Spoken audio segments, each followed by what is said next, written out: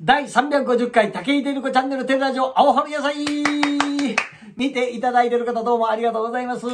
さあ今日はですね、以前から芸歴11年以上のピン芸人の一番を決めるという、えー、後輩の芸人が主催している B1 グランプリ、えー、1回戦、2回戦、そして準決勝と、そして、えー、昨日、えー、決勝に、えー、行ってきました。ただ、僕は準決勝の時、決勝進出者のメンバーには選ばれなかったです。残念ながら、えー、受けたんですけどね、悔しいんですけど、そこで、まあ、準決勝に行った人だけ、えー、敗者復活戦を、あるということで、まあ、10組選ばれて、まあ、そこに、えー、僕も選ばれまして、えー、挑戦してきました。その前に、まあ、その B1 グランプリは、開演1時なんですよ。その前に、えー、前から決まってた、えー、これも月に1回出してもらってるライブなんですが、えー、まあ、僕は太田プロダクションで14期生として養成所で1年間、えー、ネタ見せとかレッスンさせていただいたんですけど、その時に講師として先生の、えー、その方が主催しているモータースライブという、えー、これも、こう段階によってね、上にこう勝ち進んでいくというライブなんですが、えー、それで、まあ、あのー、1部、2部、3部と一部僕決まってたんで、それが11時半、えー、朝の開演なんで、それで次の会場が、えー、12時過ぎに入らないといけないので、えー、以前から出番をトップに、えー、構成演出上、支障がなかったらトップに出してくださいということで、えー、トップで出てきました。見てください。どうぞ。犬逃げたよ。先日、あまりにもいい天気だったので、ちょっとした坂道で、俺もおばあちゃんを見ながら走って逃げたよみんなと一緒に走って逃げた家に改めて帰宅してくるって俺はいいけどそっち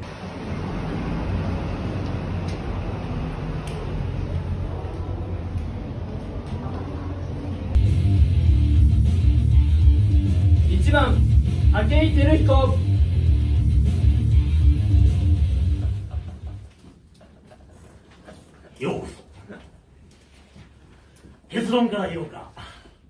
犬逃げたよ。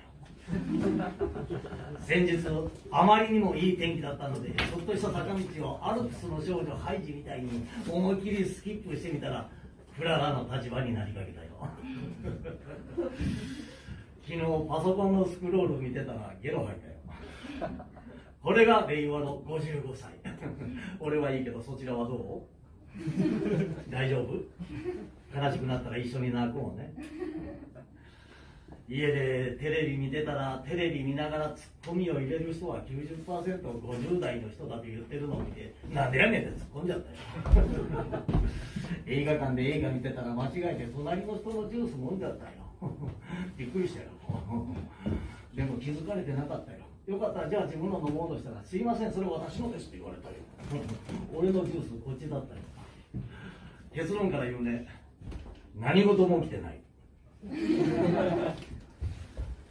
あのさ俺の実家徳島県阿南市新田町片山17の一時やん。考えられない田舎じゃん。野球中継で一部の地域を除いてその覗かれてるとこじゃん。俺が小学校4年生の時夏休み友達が新しい心霊スポット見つけたから見に行こうよと連れて行かれたところが俺の家だったよ。家ボロボロじゃん。そこ俺の家だよと友達に恥ずかしくて言い出せなかった。俺はみんなと一緒に自分の家を見ながら一生懸命怖がったよ。出た幽霊だって俺のおばあちゃんを見ながら走って逃げたよ。みんなと一緒に走った逃げた家に改めて帰宅してきた。俺って。俺はいいけどそちらはどう？泣いてんの？いる？裸のあめちゃん。いらない？あくっついて取れないわ。まあそれから1年後 親が頑張ってボロボロの家を建て替えて新築にしたっていう話。あのさ俺の実家欠陥住宅じゃん。家斜めじゃん。俺が小学校5年生の時から。まあそれを直すお金もなくてそのまま育ったんだけど大変だったのが初めての一人暮らし。借りたマンション平行だろ。ゲロ吐いてるあのさ俺昨日郵便局行ってきたじゃん。行ってから2じゃん。久しぶりだったじゃん。だから緊張したのかすいません。その84円切っていくらですかって言ったじゃん。そしたら郵便局の人が84円ですって言ってきたじゃん。結論から言うね。何事も起きてない。あのさ俺昨日何を食べたか忘れないために毎日インスタに上げてるじゃん。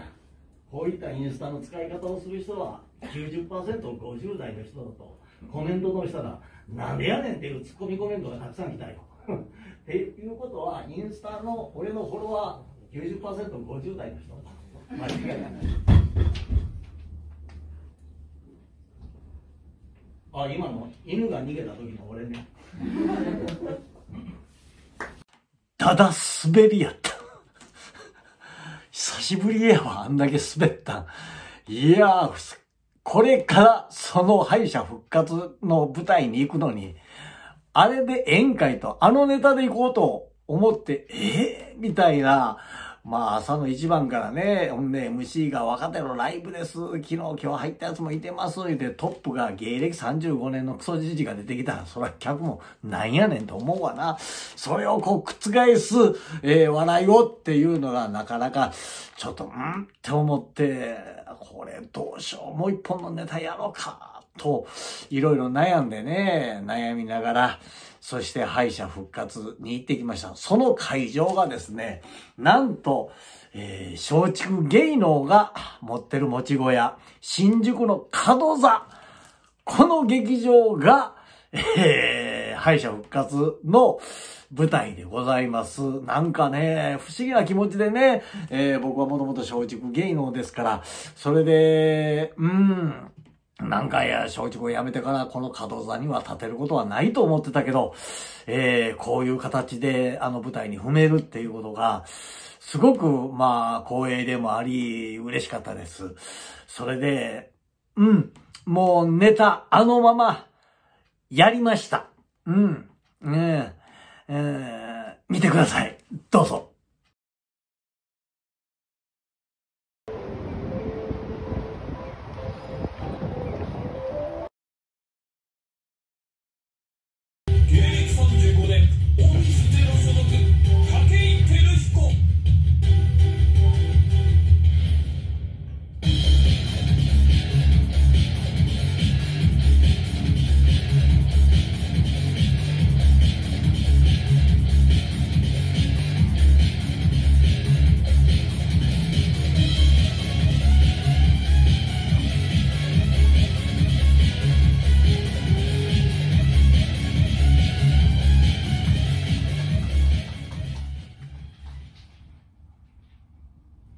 要素。結論から言おうか。犬逃げたよ。先日あまりにもいい天気だったのでちょっとした坂道をアルプスの少女ハイジみたいに思いっきりスキップしてきたらフララの立場になりかけたよ。その時犬逃げたよ。昨日パソコンのスクロール見てたらゲロ吐いたよ。マックシェイクのストローで捨てて中身が口に届くまでに立ちくらみします。これが令和の55歳。俺はいいけどそちらはどう？大丈夫？悲しくなったら一緒に泣こうね。家でテレビ見てたらテレビ見ながらツッコミを入れる人は 90%50 代の人だと言ってるのを見てなんでやねんって言った言っちゃった。映画館で映画見てたら 間違えて隣の人のジュース飲んじゃったよ。びっくりしたよ。でも気づかれてなかったよ。よかった。じゃあ自分の飲もうとしたら「すいません。それ私のです」って言われたよ。俺のジュースこっちだったよ。結論から言うね。何事も起きてない。あのさ俺の実家徳島県阿南市新野町片山13の1じゃん。考えられない田舎じゃん。野球中継で1秒地域を除いてその覗かれてるとこじゃん。俺が小学校4年生の時夏休み友達が新しい心霊スポットを見つけたから見に行こうよと連れて行かれたところが俺の家だった。家ボロボロじゃん。それ俺の家だよと友達に恥ずかしくて言えなかった俺はみんなと一緒に自分の家を見ながら一生懸命怖がったよ。出た幽霊だと俺のおばあちゃんを見ながら走って逃げたみんなと一緒に走って逃げた家に再び帰宅してくる俺って。俺はいいけどそちらはどう？泣いてんの？いる？裸のアメちゃん。いらない？くっついて取れない？まあそれから1年後親が頑張ってボロボロの家を建て替えて新築にしたっていう話。あのさ俺の実家欠陥住宅じゃん。家斜めじゃん。俺が小学校5年生の時から。まあそれを直すお金もなくてこのまま育ったんだけど大変だったのが初めての一人暮らし。借りたマンション平行だろ。ゲロ吐いて。あのさ俺昨日郵便局行ってきたじゃん。切って買いにじゃん久しぶりに行ったじゃん。うんだから緊張したのか「すいませんその84円切っていくらですか?」って言ったじゃん。そしたら郵便局の人が「84円です」って言ってきたじゃん。結論から言うね。何事も起きてない。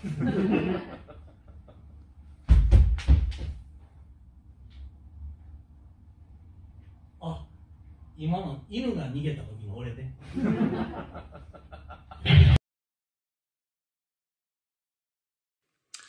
うーんまあ受けたのは受けたんですけどうーんまあ結論から言います決勝進出できませんでした。えー、その敗者復活の中から3組だけ選ばれるんですけど、えー、選ばれなかったです。うん。僕は、まあ、あの、敗者復活は10組出たんですけど、前半の、えー、前から4番目に出たんですが、まあ、あの、やりながら、このネタよりもう一本したらよかったんかなとか、なんか、妙なこう迷いがあったりとかして、受けてるは受けてるんですけど、あが、この受け方では、あ、あ、決勝行かれへん。無理 とかいうのが、まあ長年やってるから体感でわかんないよ。そんなん分かってどうすんねんっていう話ですけどね。まあ、悔しかったですけどね。でも、なんかね、本当に角座に立ってね、まあ僕も松竹で、大阪の松竹の角座は、えー、寄席で毎月出てたんですけど、改めてああやってね、えー、角座に立ってみたら本当に、持ち小屋を持ってるプロダクションっていうのは本当にタレントさん、芸人さんたちは幸せやなって思うね。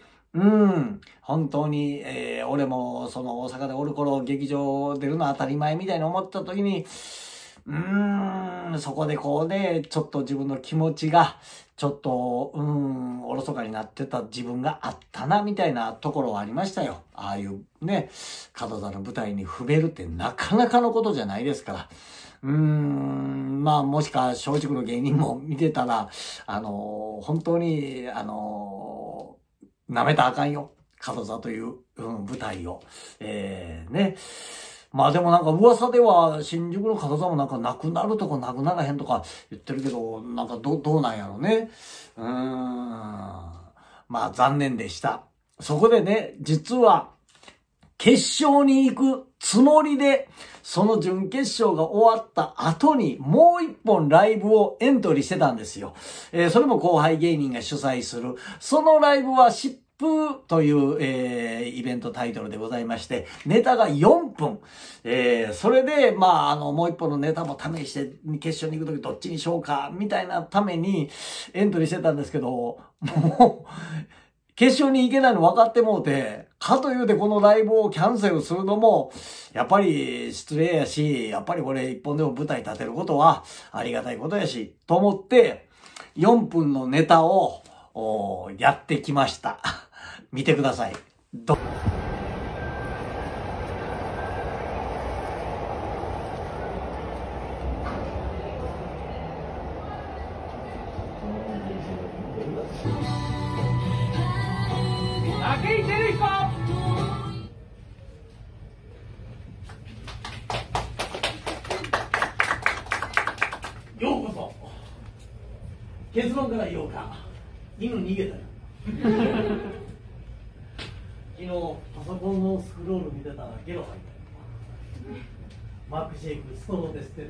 が口に届くまでに立ちくらみします。これが令和の55歳。俺はいいけどそちらはどう？大丈夫？悲しくなったら言ってね。一緒に泣くもんね。あのさ俺の実家徳島県阿南市新田町片山17の1じゃん考えられない田舎じゃん。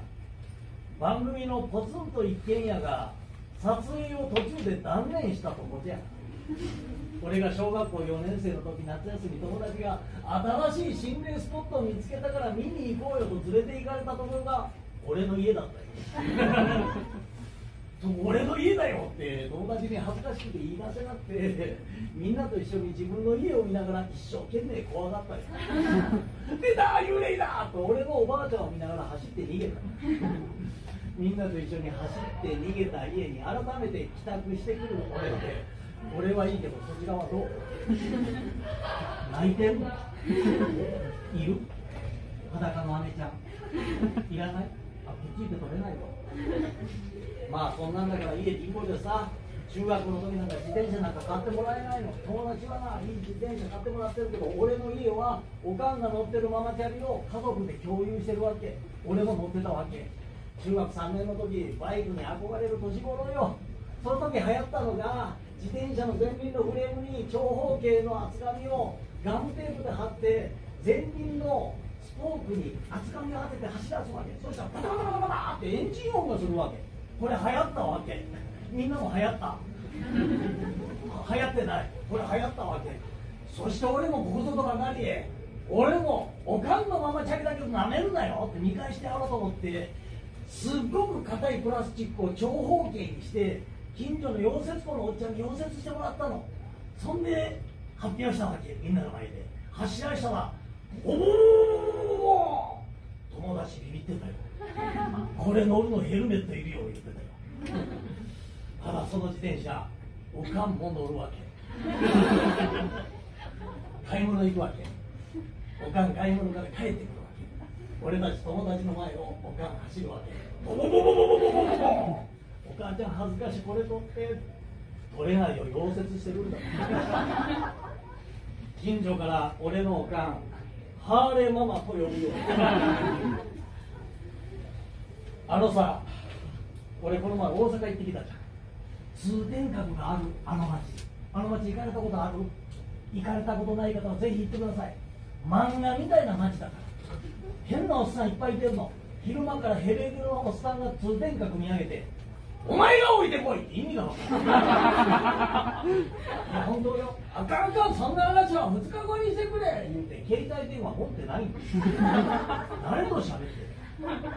まあ住人の過半数が指紋のないあの町いや本当よ。松葉杖小脇に抱えて走ってるおじさんいたから 病院遅れるでも久しぶりにちょっとおしゃれになってたよ。犬を散歩させてるおじさんいてたよ。うん。そういうワンちゃんに服着せてるの顔後に育ってるんだろうね。ただその散歩させてるおじさん上半身裸なんだよ。ほんでここにマジックで「猫」って書いてある。意味わかんない本当よ。ととにかく会話があったかい。さすが大阪。その散歩させてるおじさんの後ろの方でもう一人のおじさんが「おい!その犬わしの犬や!」って言って路地に消えていった散歩させてるおじさん固まってた結論から言うね。この犬の飼い主はそこにはいない。あ今の犬が逃げた時の俺ね。まあね、ちょっと、もう一本やるネタではないんですよ。もう後半の方はちょっとね、えー、昔よくやってたネタ、大阪ネタとかをね、そんで、まあ、あの、ガキの頃の自転車の話とかね、なんかちょっともうそういう、ちょっとこう、オイルをテーマをちょっと外して、ちょっとやってみようかなと思って、うん、ちょっとやってみたんですよ。そんで、あの、マイクスタンドを、あの、主催者の人を、スタッフがなんか置いてくれ、あ、自分でこう持っていかないかんらしかって、まあ、スタンドなしでやらせてもらったんですけどね。うん、なんかね、やっぱ昔やってたネタというか、ああいう形はね、あの特にあれが、こういう風な喋り方だし、バリバリの大阪弁やったら、もっと、いや、お前なんか気楽に、なんか、あれが俺なんかな、みたいに思ったりとかもするんですけど、うん、やっぱりこういうことで、なんか、身近なもんに、あの、逃げてしまったらあかんなと。やっぱ自分が信じきってる、信じ込んでる、もう今のスタイルをずっとやり続けようと。そこに構築したネタを作ってやっていこうと思っております。だから、今回、あの、このライブでやった大阪ネタなんかでも、うん、ちょっとこう、うん、なんかそこに、俺の中のテーマをうん、スパイスをこう入れ込んでいったら、またなんか新しいもんに、え、なっていくんちゃうかなと思います。そこにもちょっとこう、うん、やっていこうかなと思っております。まあ、今回はですね、えー、決勝に行けなかったですけど、まあ、あの、B1 グランプリっていうので、こうね、検索していただいたら、えー、動画とかも配信してるんで、で、決勝、誰が優勝するかわからないですけどね、それ、皆さん、見てください。僕もね、本当にね、決勝行きたかったですけど、残った、えー、彼たち、まあ、頑張ってほしいなと思いますよ。で、賞金50万やからね。うーん、本当に、これ優勝してちょっとバイト減らそうとか思ってた自分が、恥ずかしいわ。頑張る。